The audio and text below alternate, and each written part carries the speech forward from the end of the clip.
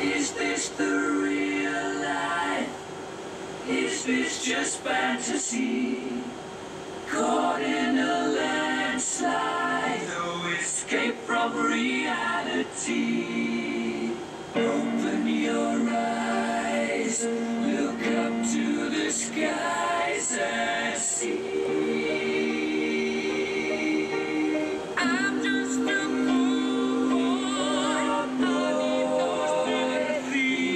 I'm easy come, easy go, little high, little low.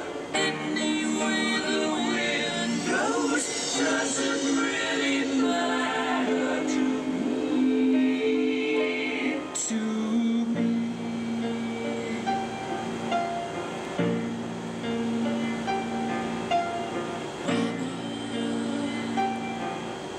Just keep